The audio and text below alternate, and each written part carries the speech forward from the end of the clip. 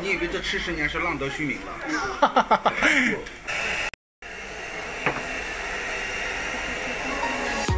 大家好啊！今天去品尝本地一个很有名的蒸饺，他家还上过早餐中国。我十二点。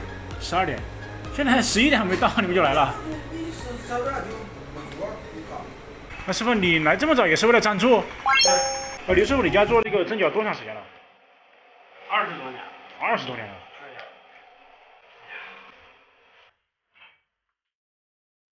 这个倒的是啥？香油。看到你家就是这个牛肉，就是自己亲自上门去买是吧？对自己去挑，自己去选，这都最放心了嘛。好了，自己哎一眼就看出来了。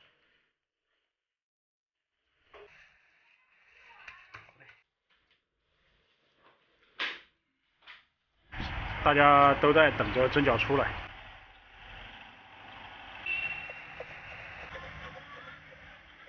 雷师傅，这一笼有多少个？十四个饺子。那这一笼是多少钱呢？二十八块。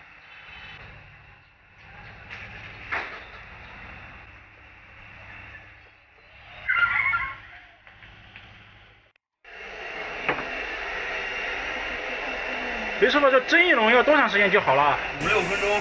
五六分钟？对，它的火挺大的，五六分钟。啊，对，火挺大的。这都是外卖的哈。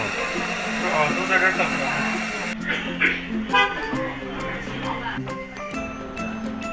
这玩意很香啊！啊，我你不说我真不知道，我回去会蒸一下。哎呦，不敢，不敢。绝对是油煎一下，谈不上美食家吧，只不过就是说是该怎么吃，自己得有想法。哦，就是会吃哈。师傅，那你吃他家饺子吃了十十年左右，十年左右，个头很大啊哈。他这个饭量好是好的，特别实惠。特别实惠。他钱多钱少也罢，最起码让人感觉到有物超所值，不敢说吧，物有所值。肉丸子很大呀。所以说就是说吃这个东西是很有讲究，吃了面里头很有馅儿，对对对，很有嚼头的。对对对。你们为什么来这个店？对对对。来这个店的理由是什么？哎，老板，我的饺子了，饺子没有排在前面哈。这一盆肉的话，能包多少笼饺子啊？大概？雨后天晴，天很蓝啊。